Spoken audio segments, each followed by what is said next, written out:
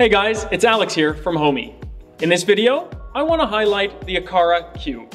Now this is a super kind of unique and quirky smart home device that you can use to control some of the devices in your smart home.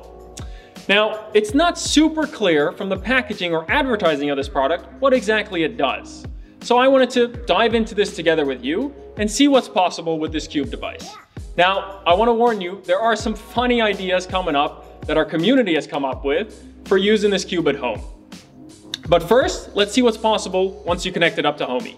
Let's dive into it and head to devices. You'll see I've already paired up my Cube. For pairing instructions, wait till the end of this video. If I head into my tile for my Cube, I'll see that there's a couple of things that it's tracking. So it has a slide. Oh, it just changed to rotate because I think I touched it, but the last motion that happened is rotate.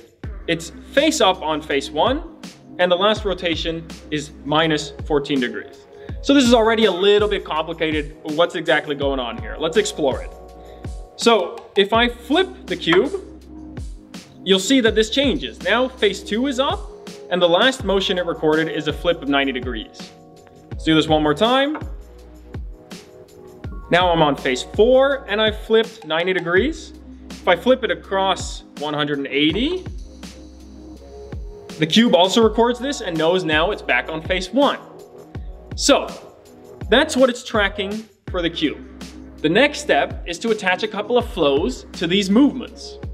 So let's head into flows and create a flow. Now what I want to do, as a simple example of what's capable of, is toggle this lamp on and off, doing a 180 degree flip.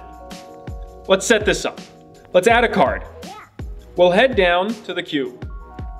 Now here you see a list of the actions for a when card. So these are actions that can trigger certain events. If you're familiar with flows, you're gonna understand this. So what we wanna do is when the cube is flipped 180. But there are also different things here. So you can do a flow for when the cube is shaked, when it's flipped 90 degrees, if the cube has slid, if the cube has been double tapped, or the cube is rotated. So there's a bunch of options and you can get as creative as you want. But let's head to cube as being flipped 180 degrees. I'm gonna say any side up. Here you could also specify what side is up after the 180 degree flip. I'm gonna hit the check mark, head to then, and say what action I want the cube to do once it's being flipped 180 degrees. So if I head into my film studio, select my studio desk lamp, and I'm gonna say toggle on or off. Hit the check mark and hit save. Give it a quick name, so cube 180, just to remember what that's all about. And now if I flip the cube, the light should turn off. Let's see if this works. Flip it over, and the light turns off. So now if I flip it again 180 degrees, comes back on. Now you can see immediately just from here that there's a lot of options you can do to this. You can have different flips, take different actions. So one of the fun things I thought might be great is to add a flow for when you shake it, that it changes or randomizes the color of your lights. That might be really fun for at home. When you're trying these things with family members and you're showing them this smart device, they have no idea what it does. They give it a shake and all the colors change in your room. That'd be quite fun. So I'm gonna set that up. Let's head to back to flows and then to the cube. Now, in this case, I wanna say cube is shaked. Any side up, so doesn't matter which side was up. Then I'm gonna add a card for the light to randomize color. So I head to the light I wanna use and say set a random color. Hit the check mark. I'll save this, say cube, shake, random. Now, if I shake the cube, my light color should change. Let's try this. Give it a good shake.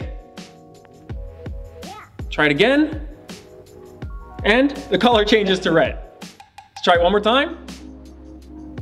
And blue. So it's quite a fun, sort of quirky little smart home gadget you can have at home. Now, I've shown you a couple of the things that you can do with it, and our community has come up with a couple of ideas for themselves. So some of them use them as uh, audio controllers. So you'll have it, for instance, skip a song if you rotate it 90 degrees to the left, or play last song if you rotate it to the right, You can also change the angle of it to alter the volume of your audio system. There's a lot of different things you can do with it. But one of the great ideas that that person had was to add stickers for what movements are actually being done. So as you can see, there's not much telling you on the cube itself what setting it's at. So if the cube is face up on a side, I'm not sure what's gonna happen if I flip it over. So it really helps to sort of add some icons to the cube to identify what side is what, and then to remind yourself what flows you've attached to it. The Aqara Cube also comes with a couple of flaws. The shake sensitivity is relatively high. So if you have it lying on a desk and you hit that desk, sometimes the cube thinks it's being shook. And then it triggers the flow for your lights to randomize. Another one is it has a function to do angle and to use this, for instance, to dim some lights. Now I've set this up in a flow, but it's relatively hard to do. So let me show you what I'm talking about. Let me quickly set my lights to a normal color and if I now try and dim the lights, it's a little bit difficult. So I'm gonna rotate the cube about 45 degrees. Now, the light will dim down.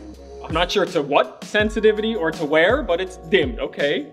Now, to dim up the light, you have to go somewhere past 90 degrees, only to the left. So I'm gonna do it about 75 degrees, and the light should increase in brightness. Let's try that again. Okay. Well, this highlights what I'm talking about. It's relatively difficult to get this thing to dim your lights to an accurate level of what you wanted. So I would not recommend it as a dimmer. So I've shown you some of the cool features that you can use the Aqara Cube for. Now we don't recommend it to dim your lights with because that's a little bit tricky, but it is a fun little device to have in any smart home to entertain your guests or your kids with. Now, I wish you good luck and I hope that you can get creative with the cube and figure out some of the things that I might not have explored yet. I want to show you how to pair the Aqara Cube with Homey. Let's see how this is done. So the first thing you have to do is open up the cube itself. In the package, you get this little metal tong, which you can use to open up the back of the cube. The next step is to find the pairing instructions. Let's head into devices, hit the plus, and search for Aqara in the brand names. So here's Aqara and Xiaomi. Now we want to find the device. Let's head down to the cube and hit connect. So to add the cube, what we need to do is hold the cube during inclusion in close proximity to Homey. Okay, well, we're relatively close here on the same desk. Then long press the reset button for more than three seconds until the blue light flashes three times, okay? Hold it down, one, two, three. I see the blue lights flashing and I'll release. Keep pressing the button until every two seconds to keep the sensor awake during pairing. Oh, well you see how quickly that's done? The cube has now been paired to Homey.